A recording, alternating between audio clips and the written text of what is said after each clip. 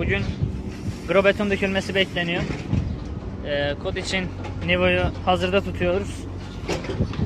Kazısını bitirdikten sonra şuranın tamamını düzeltip e, az sonra kolonlar için gelen beton buraya grobetonuna aktarılacak. Ve sağ tarafta dolgumuz var. Drenaj borusu aynı şekilde. Sol tarafta da normal arazimiz var. Arka taraftaki o e, dış arazi. Burada da dediğim gibi şu an boşaltılıyor bu önceki atılan grobeton. Bu da normal temel temel 90 santim.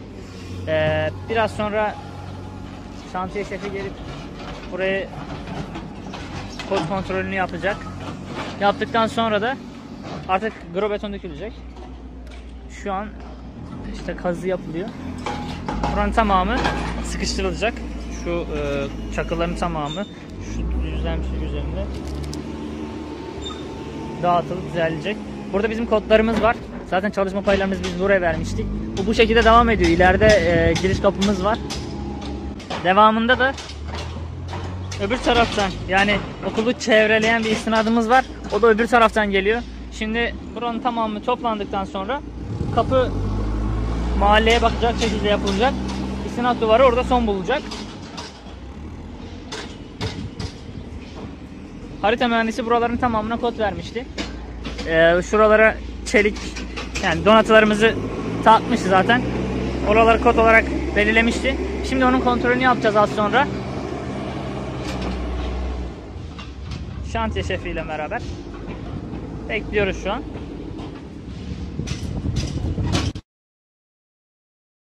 Burada daha demin buralara mücür getirilip döküldü. Tamamının eşit bir şekilde dağıtılması isteniyor. Daha demin kodlara baktık. Bazı yerler düşük, bazı yerler yüksek. Bunu tamamladıktan sonra eee, dediğim gibi akşama doğru beton dökülecek. Gro beton dökülecek buraya. C16 ve 16'dan düşük. Daha sonra da artık istinat duvarımız yapılmaya başlanacak.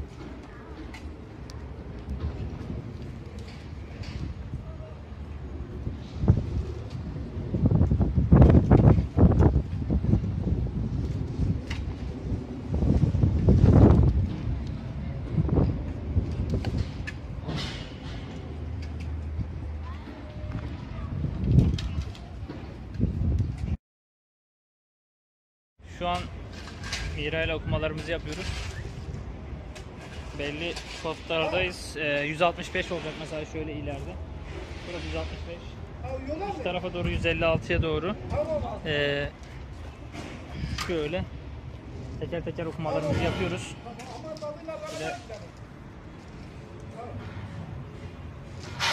bitirdikten sonra grobeton dökülecek. Şöyle dolgumuzu yapıyoruz. Ee, çukurlara falan.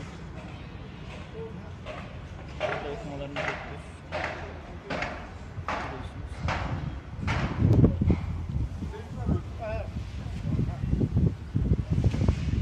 Ustalar geçiyor. E, ne yapalım? Tam köşe noktaya gidelim. Köşe noktaya okuyalım. Şöyle okuyor. Bu şekilde bu bittikten sonra grobeton dökülecek. Ee, amaç daha az dökülsün. Hani normalden e, çok fazla beton dökülmesin. Zaten işaretlenmiş yerler var. Şurada bu noktadan sonrasında dolgu yapılacakmış. Pek fazla önemli değil dediler. Şeyin dolgusu. Hani istinat duvarı dolguya şey yapılacak. Tam şurada tam üst noktadayız. Şöyle üstüne biraz basayım. Arkadaşlar burada biz e, en son burayı dolgu için e, kod ölçümleri yaptık. Gerekli kodları hesapladık. E, şu noktayı yani önceden dökülen şu grobetonun seviyesine getirmek için dolgunun ne kadar düşükte olması gerektiğini hesapladık zaten nivoyla. Bugün tabi öncesinde beton dökülmüş. Yani grobeton döküldü. Şimdi de istinat duvarı için gerekli işlemler yapılıyor. Kalıplar şu an çakılıyor. Ee, ölçümler yapılmış. Ee, harita mühendisi tarafından offsetler de verilmiş. Şu an kalıp takılıyor. Devamında da şurada gördüğünüz istinat duvarının devamı gelecek. Bunu ben böyle parça parça anlattım ama bunların hepsini birleştirdim. Ee, tamamını bir yani bir yerde görün diye. Bu şekilde.